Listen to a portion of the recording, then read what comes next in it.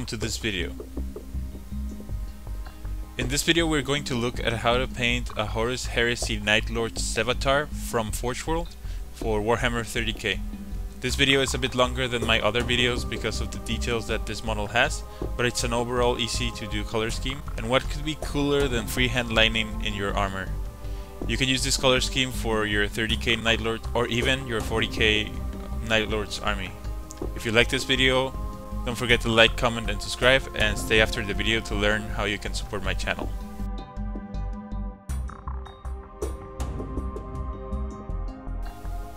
So I start with a primed black model and I attached it to this cup with some poster tack and I use a temporary base where I use a little bit of super glue to paint the model easier. I'm going to start by base coating the armor with Kantor Blue.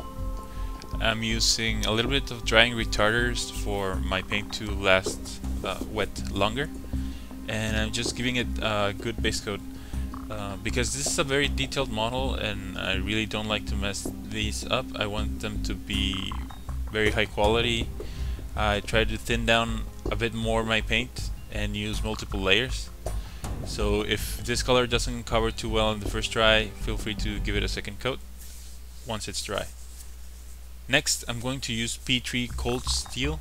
Uh, you can use Citadel Lead Belcher instead, but I'm a big fan of these uh, paints and I wanted to try them out in a tutorial just to let you people know uh, that they are very good. And uh, these are very thin and they cover very well. And uh, I think they're they're worth checking out if you're interested in new metallic colors. They are pretty good. Uh, I'm using uh, size 2 brush and I'm just base coating all of the silver areas around the model. Once it's done, I'm going to cover the whole model with Nuln Oil. Uh, we're trying to cover all of the blue and silver parts on Nuln Oil to give it this, to give them that very dark shadow. And I'm using uh, the same brush to have a little bit more control and I'm just uh, trying to not let it pull too much on the areas just let it uh, sit on the recesses and uh, tint the armor a little bit darker. Next as usual I'm going to use Kantor Blue again and clean up the armor to bring back the blue color and leave the darker blue color on the recesses about the uh, P3 paint, if you if you decided you want to try it out, make sure it's a black label paint. The the older ones, the the ones that are not black label, uh, I was told that they weren't as good, uh, but I tried these new ones and I really like them. So give give them a try. Uh, here I'm just carefully uh, layering layering this color into the armor again to bring the color back and leave the darkest color on the recesses. Next, Caledor Sky. I'm going to start edge highlighting this color on the edges of the armor. I'm not afraid of being a little bit uh, broad on my edge highlights uh, because uh, this uh, if this color shows through the other edge highlight that I'm gonna do it's gonna look like midnight glow or something like that and that's why I'm going for a very the most vibrant blue colors for the edges so that I can get that very vibrant uh, dark night kind of look on the armor. With the same color Sky I'm doing little lines on the side of the armor with a little bit thinner paint and not very carefully just uh, an overall shape of a lightning bolt that it's uh, not very thin, it doesn't matter because we're going to further highlight it. Next I'm using Teclis Blue and this is a thinner edge highlight. Uh, for all these steps I've been using uh, detail brush, fine detail brush from Citadel and using drying retarder in my advantage to help me keep the paint wet longer and making the tip uh, spinning and dragging the brush on the palette so that it's uh, sharp and then I can get all of the sharpest details. Taking my time, being very careful to make uh, thin lines. And here I'm trying to go inside of the design of the lightning bolt that I did on the last step. Just being inside of the last step but still I'm not worrying about it being very thin or very detailed. It's just a rough sketch. Next I'm mixing white scarred with Teclis blue and here I'm being a little bit more precise trying to get the shape of the lightning bolt that I want. Here we're drawing with a very sharp uh, brush the shape of a lightning bolt as we want it, leaving the other two colors behind, uh, make them work like a glow that surrounds the lightning shape.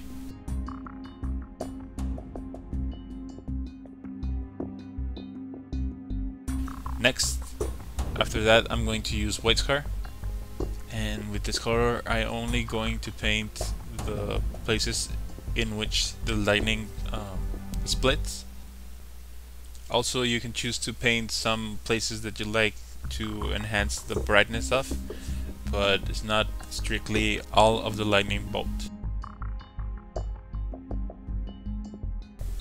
Next I'm using P3 Quicksilver and with this color I'm going to edge highlight all of the metallic silver areas.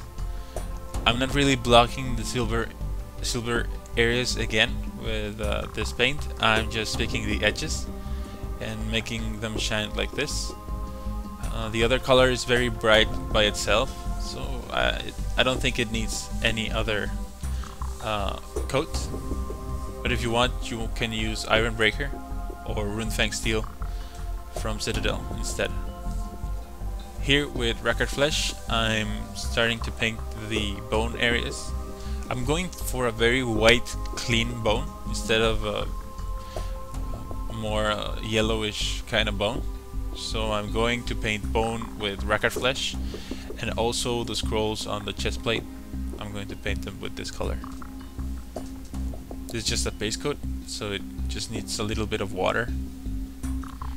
And I'm going to use Mournfang Brown to paint all of the leather areas that I want around the model. This is very, these are very uh, small details, like straps and uh, the knife uh, holster.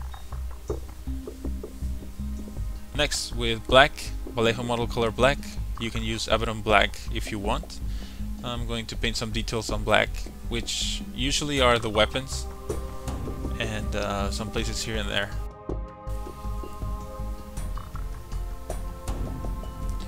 Next, I'm going to use Balthazar Gold, and with this color I'm going to paint gold details, which is which are very uh, few.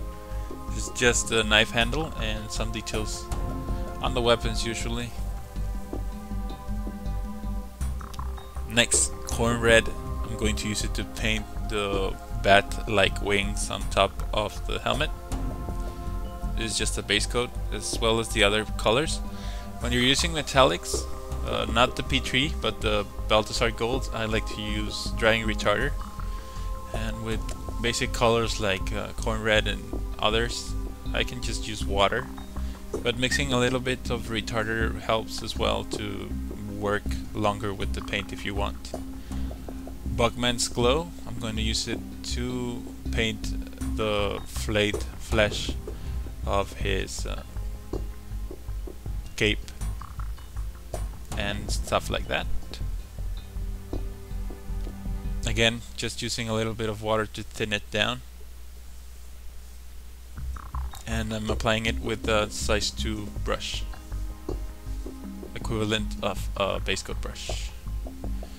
Here I'm using Celestra Gray to paint the wing of this uh, decoration here on the armor and I'm going to use Agrax Earthshade to shade in most of these colors I'm going to use this color to shade in the the wings on the top of the helmet and the bone and the gold. And also the the Mournfang brown. But those details are very very uh, little, so it doesn't need much uh, shade. Reikland Flesh Shade, I'm going to use this color to shade in the skin, the flayed uh, flesh of his robes. That's it. Don't forget to always shake very well your washes uh, or the wash tends to separate and you get uh, very like frosting when you don't do that properly.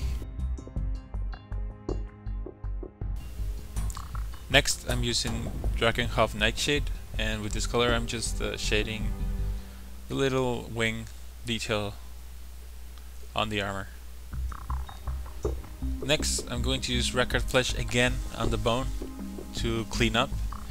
Uh, this is uh, just a cleanup uh, step where I'm uh, picking most of the areas again, leaving the washes on the very darkest recesses as a shadow color. It's a highlight that is going on most of the area, just leaving the darkest parts on the shaded color. Next, Pallid Witch Flesh. With this color, I'm picking uh, the highest parts on the bone and leaving a little bit of the Rakarth flesh and the shaded color behind.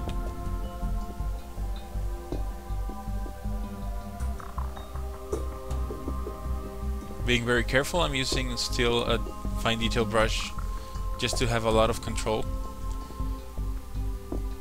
Ulthuan Grey, I'm to use it on the uh, the wings on that detail there on the armor. Just leaving the recesses on the previous color and to finish all these both steps at the same time I'm go going to use White Scar. Uh, white Scar on the most uh, only the edges of the feathers and on the bone.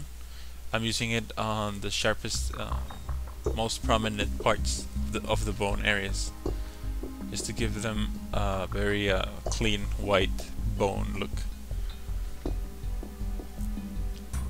Next, Khorne Red again is going to be used to clean up the bat-like wings on the top of the head of Sevatar, just leaving the shade on the recesses, as always.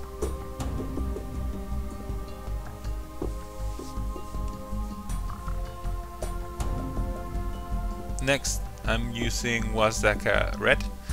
Wazdakka instead of Evil Sunz Scarlet because it's a, a little bit more dulled down red highlight. It's not as bright.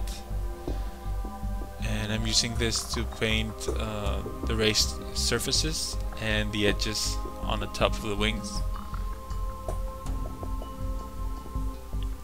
Wild Rider Red, the most uh, brightest red that I can find and uh, this is only going on the sharpest edges on the wings. Also the eyes, I don't think I don't think I recorded myself paint myself painting them, but I used the same three colors, which is the Khorne Red, the Wazdakka, and Evil Sunz in a transition form from dark to light, going to the front of the lens. Here I'm using Deathclaw Brown to pick up all of the leather straps.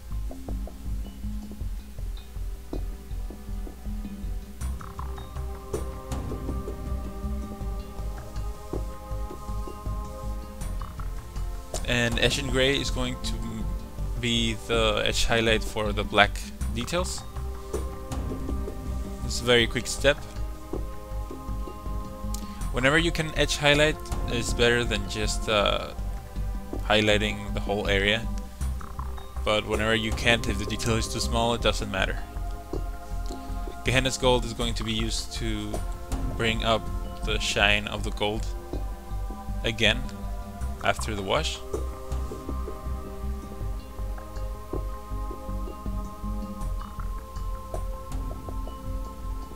And Bugman's Glow, I'm going to use it again on the skin. Moving on to the skin area I'm going to just clean up and leave the the wash on the recesses. Uh, you could jump and use the next step instead but because I'm using the washes very heavily I like to clean up again so that the transition is not very uh, it doesn't jump too much from one dark color to a bright color so if you apply the base coat color again after the wash, you will have an easier time layering the brightest highlights on top of them, which is here the Cadian Flesh Tone. I'm trying to paint this color on most of the area that is facing the light source which is up and the sharpest edges as well and Kislev Flesh concentrating on a smaller area than the previous color and all of the edges that are exposed to light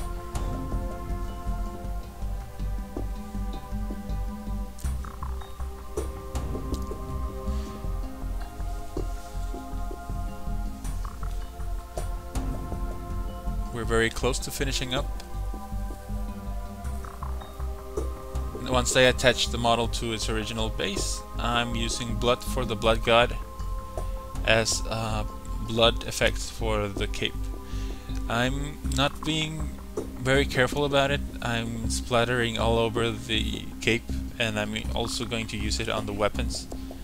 And uh, because of the the original artwork has a very uh, blood uh, stained cape.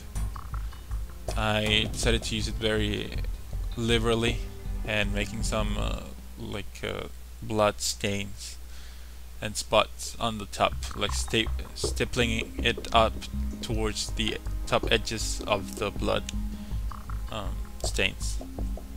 And that's pretty much it. Thank you very much for watching this tutorial. I really appreciate that you sticked around to watch this full tutorial, which is uh, very long, over 17 minutes now. And uh, I really like this color scheme. The lightning bolt looks pretty cool. And if I started a 30k army, I would seriously consider making some Night Lords because they look pretty cool. Thank you very much for watching. I hope this video was informative and helpful to you for you to start your Night Lords 30k or 40k army. I really enjoyed making this tutorial and please let me know what you think of it on the comment section below. Like the video, comment on it and subscribe to the channel to see more videos. Remember that you can find me on Facebook and if you want you can stick around after the video to learn how you can support my channel. Thank you very much for watching and I hope to see you on the next video.